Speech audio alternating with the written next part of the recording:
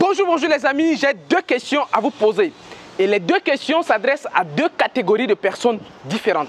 La première question s'adresse aux hommes et aux femmes mariées. Voici la question. Entre le jour où vous avez connu votre femme ou votre mari et le jour où vous êtes marié, ça s'est écoulé combien de temps? Ça, c'est la première question adressée aux hommes et aux femmes mariées.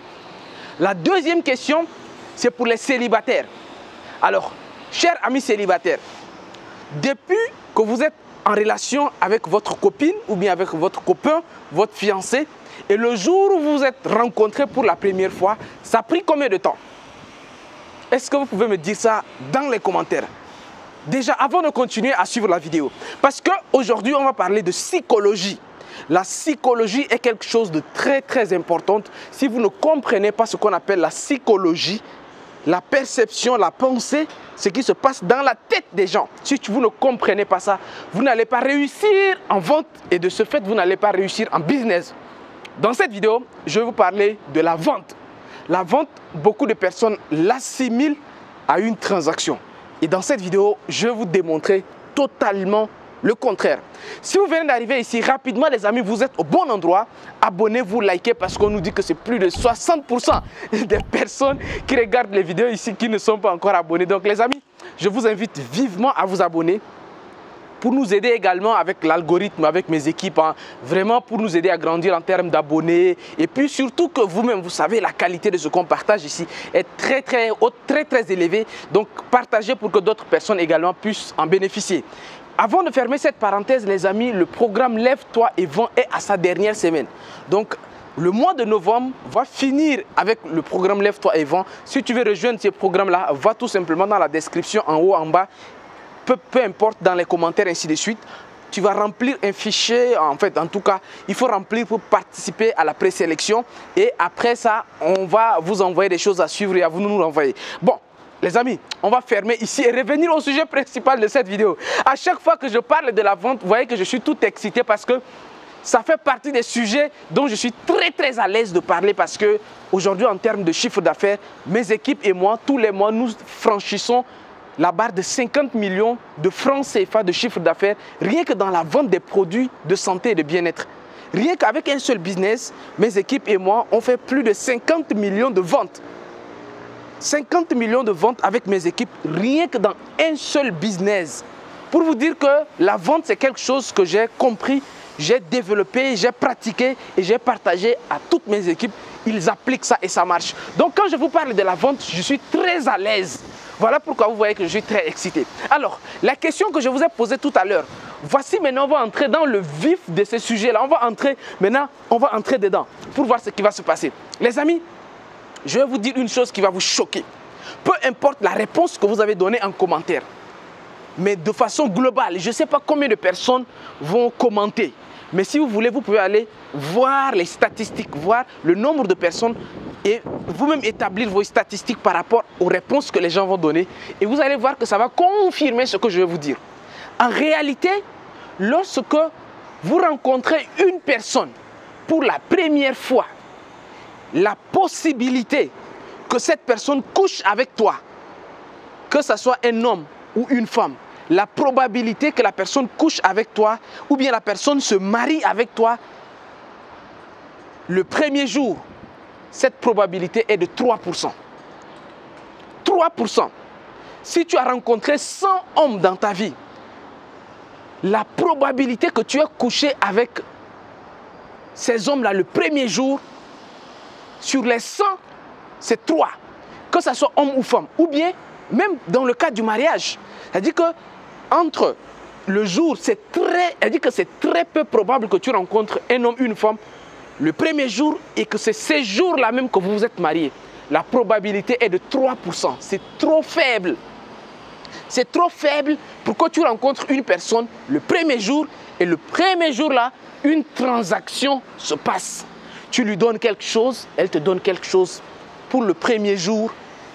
C'est très faible, 3%, c'est rien. Et malheureusement, c'est comme ça, voici comment des personnes, beaucoup d'entrepreneurs, beaucoup de vendeurs fonctionnent de cette manière-là. Beaucoup de vendeurs cherchent chaque jour, elle dit que chaque jour, ils, ils veulent à tout prix vendre quelque chose à quelqu'un, dès le premier jour, dès la première fois qu'ils se sont rencontrés, ils veulent automatiquement vendre quelque chose à quelqu'un. Les amis, sachez aujourd'hui que c'est trop faible la probabilité. Ne cherchez pas coûte que coûte à vendre aux gens dès le premier jour. Vous voyez, c'est ce qui fait la difficulté des vendeurs ambulants. Les vendeurs ambulants, ils, dépensent beaucoup d'énergie. Ils vont circuler dans la ville toute la journée. Ils vont, certains même là, toute la journée, ils ne vendent même pas un produit. Parce qu'ils n'ont pas compris que la personne que tu rencontres pour la première fois, la probabilité de vendre à cette personne est très faible. Généralement, ceux qui achètent ton produit pour la première fois, ce sont des personnes qui avaient de problèmes avant. C'est-à-dire que c'était des personnes qui avaient leurs difficultés.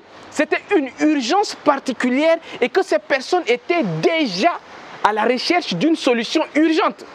Ce n'est que comme ça que Dieu a fait par miracle et que vous vous êtes croisés. Et c'est comme ça que la transaction s'est passée. Une femme et un homme qui couchent avec toi dès le premier jour, il y a peut-être un problème psychologique, il y a quelque chose, quelqu'un de normal qui n'a pas de problème, qui est normal, il ne peut pas accepter une transaction comme ça. Une transaction du premier jour, là, c'est très rare. C'est quelqu'un qui a déjà en tête avant, son téléphone est gâté et il était en train de chercher un téléphone. D'urgence, et dimanche, toutes les boutiques sont fermées. Et d'urgence, il se lève, il va dans une boutique. Ça, c'est quelqu'un comme ça qui tombe sur vous et il, achète avec vous. Sinon, normalement, quand vous voulez acheter un téléphone et que vous avez déjà un téléphone qui fonctionne, déjà, vous n'allez pas aller dans l'urgence vous allez passer à une autre catégorie parce que vous n'allez pas acheter avec un inconnu. Vous n'allez pas aller acheter une voiture avec un inconnu. Vous n'allez pas aller dépenser un certain montant avec un inconnu. Ça ne se fait pas. Très peu, du moins, il n'y a que 3%. C'est très faible. Je ne dis pas que ça n'existe pas, mais c'est trop faible pour toutes les personnes qui cherchent à vendre coûte que coûte aux gens dès le premier jour. 3%. Maintenant, regardez comment dans la psychologie de vente, on va évoluer. On évolue parce que on sait qu'il y a une autre catégorie qu'il faut faire un autre travail. Ce n'est pas qu'il faut faire un travail de coûte que coûte vendre le premier jour. La, la, deuxième catégorie des personnes, en fait, ce sont des personnes, en fait, et là, vous allez voir maintenant que les statistiques sont un peu élevées, parce que ça va jusqu'à 17%. Il y a 17% de ventes qui se font. Vous voyez que ça, vraiment, je veux que c'est très... Vous voyez que je veux vraiment que les, les amis, on se comprenne. 17% sont des personnes où tu les as rencontrées au moins trois fois. C'est-à-dire que 17% des acheteurs achètent parce qu'ils ont rencontré la personne là au moins trois fois. C'est-à-dire que 17% des hommes vont épouser une femme ou bien 17% de femmes vont épouser, peu importe. Prenez ce que je vais dire dans, dans les deux sens. Mais il n'y en a que 17% qui vont accepter une transaction avec toi une fois qu'ils t'ont revu trois fois ou bien une fois qu'il y a une relation qui a duré déjà une certaine période et dont les retrouvailles se sont faites au moins trois fois. 17%, ça augmente la probabilité. Et généralement, ces personnes-là, ce sont des personnes qui, en fait, ont le problème, mais ils ont aussi des choix à faire. C'est-à-dire que non seulement la personne a le problème, mais il a le choix à faire. Mais tu fais partie des personnes maintenant qui figure dans la liste de ses choix. C'est très important. Ce que je vous dis, prenez en business, prenez ça, considérez ça comme je suis en train de vous parler business, mais considérez également d'une relation amoureuse ou bien de la séduction de façon générale. Prenez également dans ce sens-là. C'est comme ça que vous allez comprendre ce que je suis en train de dire vraiment en profondeur. Donc 17% des personnes qui vont accepter une transaction avec toi, ce sont des personnes qui ont, avec qui tu as déjà eu deux ou trois contacts et dont ces personnes également sont dans une option de faire un choix. 17%. Je vais vous donner maintenant la suite. Il y a 20%.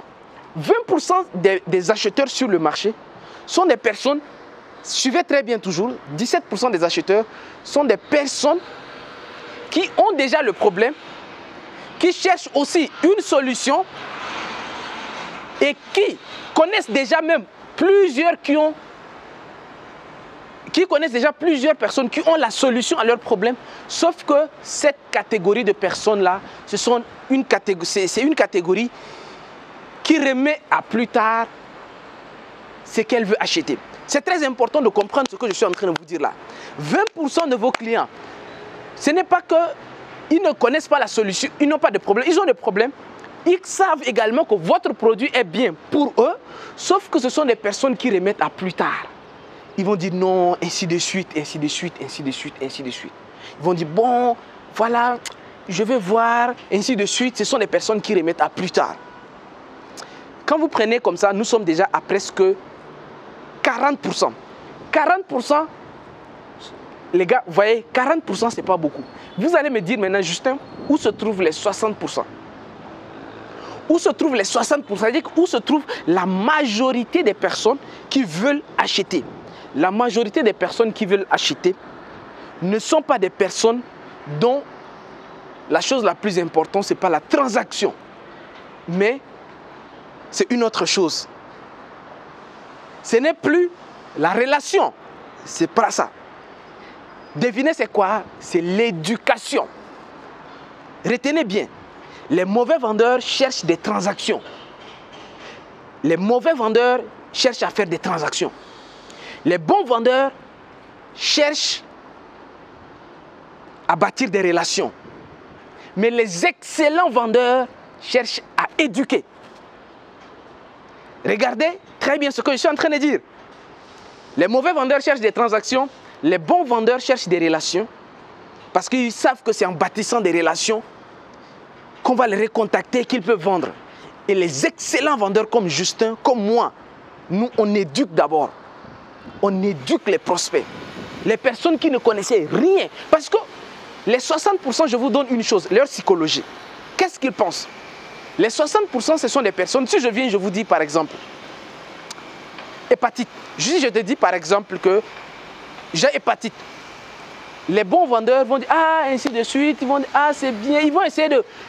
bon, les mauvais vendeurs, ils vont directement te présenter leurs produits les mauvais vendeurs. Ils vont te présenter leurs produits, parler des caractéristiques de leurs produits, te dire que non, le produit là c'est bon, si tu prends, tu vas guérir. Ça, c'est les mauvais vendeurs parce qu'ils vont chercher directement à te vendre. Ils, veulent directement une transaction. Les bons vendeurs, quand même, ils vont jouer sur l'empathie. Voilà, ils vont jouer un peu, ils vont essayer de, créer d'abord la relation. Si tu n'achètes pas, un, peu plus tard. Mais les excellents vendeurs comme moi, nous, on va t'éduquer d'abord. On va dire que, écoute, Hépatite, tu sais, ce n'est pas une maladie qui est fatale parce que l'hépatite, c'est tout simplement l'inflammation du foie. Donc, c'est le foie qui ne fonctionne pas très bien. Et quand c'est comme ça, généralement, il faut savoir que le foie, c'est l'organe qui, qui, travaille comme un filtre après l'estomac parce que c'est à partir de là que certaines vitamines sont filtrées directement euh, vers le corps et puis d'autres sont ainsi de suite. Donc cet organe qui, qui sert de filtre là, cet organe-là ne travaille pas. Et comme cet organe ne travaille pas, ça fait en sorte que beaucoup de choses se passent. Comme ton organisme ne filtre rien, c'est ce qui fait en sorte qu'il y a ça, il y a ça, il y a ça. On prend le temps de t'éduquer d'abord sur ta maladie. On t'éduque d'abord sur ta maladie. Regardez, je t'éduque. Je te fais comprendre d'abord. C'est une éducation. C'était des choses, je te fais comprendre des choses que tu as une maladie, que toi tu ne connais même pas la maladie là, c'est quoi?